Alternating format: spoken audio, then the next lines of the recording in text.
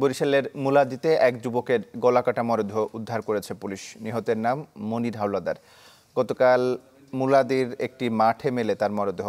হত্যায় কেউ জড়িত আছে কি না তা খতিয়ে দেখছে পুলিশ।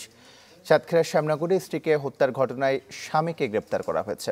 নাটোরের গুরুদাসপুরে প্রতিপক্ষের ছুরিকাঘাতে একজন আহত হয়েছেন। সব সময় সব দিকের সব খবর পেতে সাবস্ক্রাইব করুন। বেল আইকনটি প্রেস করে আপডেট থাকুন।